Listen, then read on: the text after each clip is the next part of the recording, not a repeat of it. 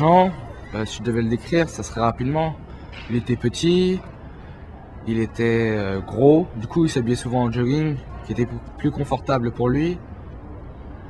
Portait des baskets, de belles baskets, même s'il courait pas avec, parce qu'il n'était pas sportif. Puis euh, il était blanc de peau, il était roux, il ne portait pas de lunettes. Il avait euh, une cicatrice sur son œil droit, ou oui droit, et mais euh, il faisait quand même penser à quelqu'un d'intelligent. Enfin, je veux dire, il était pas, il faisait pas penser à, un idiot. Ça se voyait qu'il était intelligent.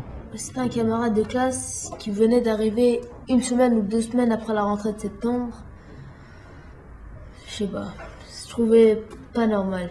Il avait un truc à cacher, je ne sais pas. Mais quand la, la, principale l'a amené euh, dans la classe, a dit euh, voilà votre nouveau camarade, il s'appelle Jean. Et on l'a, on l'a, on l'a pas trop abordé.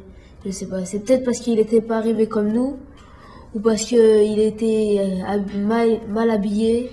Il avait un, short, il faisait froid, petit t-shirt, trop serré pour lui. Il savait pas où s'installer. Alors il s'est installé au fond. Jean, c'était mon voisin de classe. Et en fait, quand il est arrivé, je le trouvais pas spécialement beau. Enfin, je le sentais pas, j'avais pas envie de le connaître. Et en plus, il avait jamais ses affaires. Il me demandait tout le temps des stylos. Euh, et quand je lui prêtais, il m'a mâchouillé le bout. Du coup, quand il me prenait, c'était tout dégoûtant. À la fin, arrêté de lui prêter. Et, euh, un jour, il est venu au collège avec des bonbons. Et je lui en ai demandé. Et il a pas voulu m'en donner. Du coup, je lui ai dit, ah, bah, je te retiens et tout. Et il m'a fait, non, mais c'est parce que t'as un appareil dentaire, t'as pas le droit et tout ça. Enfin, il m'a sorti une vieille excuse. Et euh, à partir de ça, on a commencé à parler. Et je lui ai demandé si ses parents, ils étaient ensemble. Et, et il a, commencé à me raconter toute sa vie, qu'en fait, il a été adopté, sa famille euh, adoptive, elle, a beaucoup d'argent, mais que sa vraie famille, euh, c'était une famille paysan. Enfin, je, je l'avais pas demandé ça, pourquoi il me raconte ça et tout? Enfin, je m'en foutais, mais je ne montrais pas. Tu te rappelles la première fois qu'on a parlé à Jean? Ouais, c'est ton cours de physique chimie. Ouais. Même il nous avait un peu raconté sa vie, il nous avait dit qu'il avait été adopté à l'âge de deux ans. Ouais, et il nous avait dit qu'il aimait bien sa famille adoptive, mais qu'il avait un manque de ses vrais parents. Ouais, mais on s'en doutait un peu hein, qu'il avait été adopté. Bah oui, on avait déjà vu ses parents. Il n'avait aucune ressemblance, ça ressemblait pas du tout. Son père, il était métis et sa mère, grande et poignue. Ouais. Jean, c'est pas mon ami et franchement, euh, il avait rien de spécial. Ah non, je suis pas d'accord avec toi. Jean, c'était quelqu'un de timide, intelligent, poli. C'est normal qu'il est intelligent, il a une grosse tête. Euh. Euh, c'est pas les intellos qui ont des grosses têtes. Les intellos portent des lunettes. Tu veux dire ça à moi? Jean, c'était mon ami, franchement. C'était un gars formidable. C'était un bon délégué. Et dire qu'on l'avait élu euh, parce qu'il y avait personne qui voulait se présenter. En fin de compte, c'est un beau délégué. Il m'a sauvé plein de fois. Et souvent, il me parlait de ses parents biologiques en me disant qu'il qui les manquait et je le comprenais tout à fait. Mais le fait de savoir que je pouvais rien faire, bon, j'en avais mal sur le cœur et ça me pesait lourd. Et un jour, on était ici à côté de son casier et il m'a dit Tu sais que ça fait dix ans que j'ai pas vu mes parents et j'ai super envie de les revoir. Et à partir de jour, j'ai su qu'il voulait revoir ses parents et qu'il les manquait vraiment. Fatma, tu te rappelles de Jean oui, c'était trop marrant avec lui, tout ça. On a, la première semaine, la, prof avait faire les élections, on avait voté blanc. Oui, tout le monde avait mis, nom, tout le monde avait mis son nom sur la feuille, c'était trop marrant. Et puis la troisième semaine, il est arrivé, et puis, euh, et puis j'ai pensé que c'était Vlad Pigeon. Et puis euh, après, ben. C'était lui le délégué. Ouais. Et pendant des conseils de classe, il me défendait tout ça. Mm. Et puis, euh, quand même, c'était un peu méchant ce qu'on a fait. Ça se faisait pas. C'était méchant. Mais en fait, euh, il était gentil. Ouais. Et toi, Marie, tu penses quoi? Euh, bah, Après, il a commencé à m'énerver puisqu'il travaillait bien. Deuxième intello de la classe, meilleur que Hyacinthe. En fait, t'étais jalouse. Bah Jean, il était tout seul, solitaire personne s'occupait de lui, on s'en foutait un peu. C'est comme s'il n'existait pas. Puis un jour, je me suis dit non, ça se fait pas, c'est quand même un de mes camarades. Donc je lui ai proposé de venir manger à la cantine avec nous. Il a accepté. Et euh, bah, on est parti à la cantine, on se tenait là-bas, il était à côté de moi. Et euh, au fil du temps, on s'est rapprochés, c'était un ami pour moi. Et euh, je trouvais qu'il était un peu timide, plus timide qu'avec les autres. Et j'ai deviné bah, qu'il m'aimait. Sauf que pour moi, c'était qu'un qu'un ami parce que euh, physiquement, il ne me plaisait pas. Je me suis dit oui, peut-être dans 10 ans, peut-être il va changer, peut-être il va devenir plus beau, mais pour l'instant, non, c'était pas possible. Et euh, franchement, Jean, ce qui m'a appris, c'était une belle leçon. C'était ne faut pas faire attention aux personnes par rapport à leur physique, mais par rapport à ce qu'ils ont à l'intérieur. C'est plus important. Je me souviens de Jean, il était remplaçant pour le match de basket. Ouais, il était sur le banc, euh, en train de manger des gâteaux et des beignets. Euh, puis, euh, cinq minutes après, je me suis blessé à la cheville. donc, Jean a dû me remplacer. et il a dû me remplacer, mais il voulait pas aller sur le terrain. Après, on l'a forcé, disait non, non, je veux rester sur le banc, euh, je sais pas jouer et tout.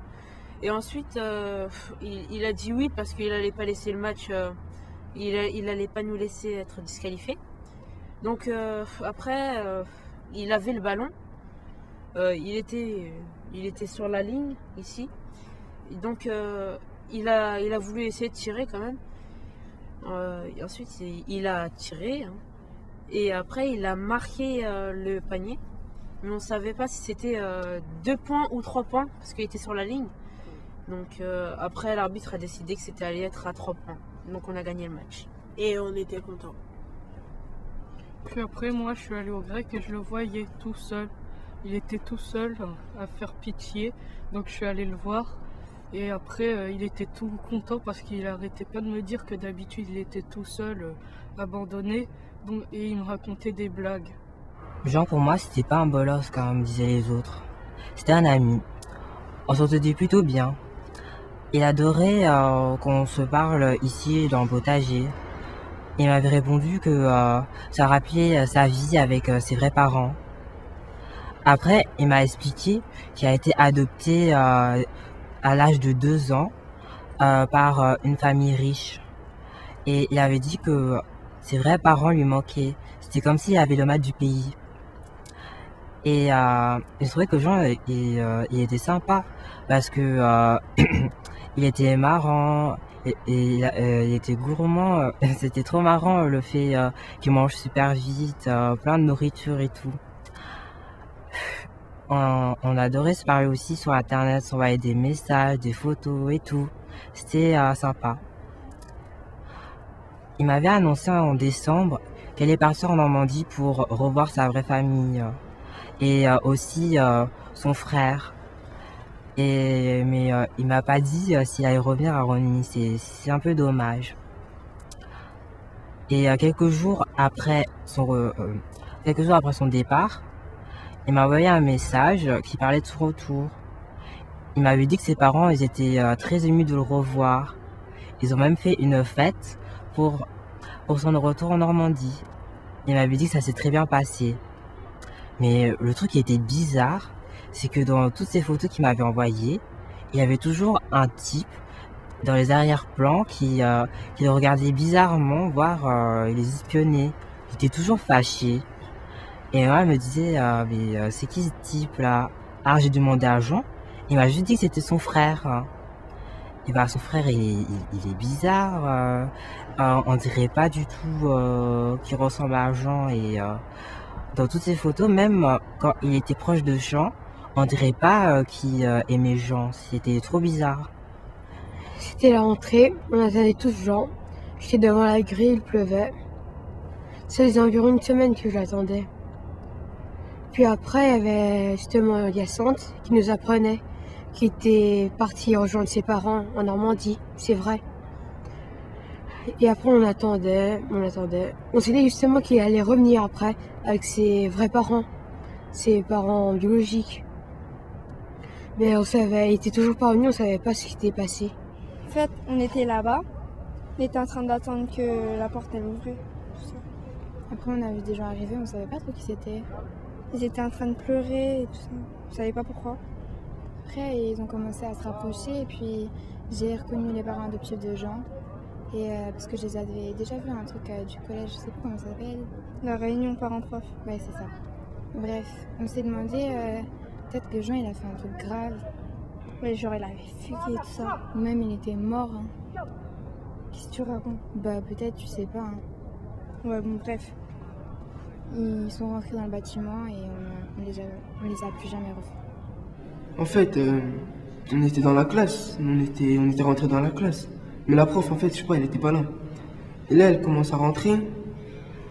Elle nous dit. Euh, elle était, en, était en train de pleurer. Elle nous dit Je vais vous annoncer une mauvaise nouvelle. Mais on comprend pas trop. On se dit Qu'est-ce qu'elle va nous annoncer? Et en plus, elle était en train de pleurer. On- je sais pas, on se disait pourquoi elle pleure.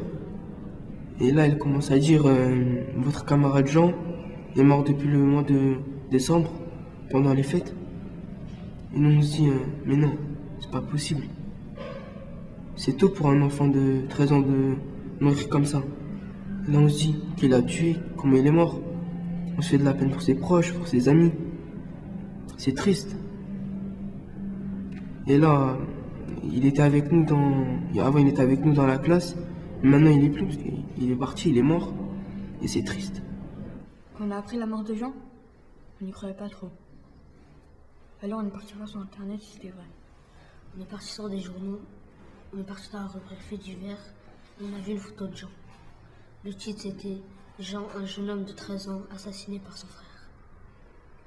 Non, on savait que c'était Jean. On était vraiment choqués. hein. On commençait tout juste à apprendre à le connaître. C'est pour ça qu'on a décidé d'aller lui rendre hommage euh, tous ensemble cet après-midi euh, au cimetière.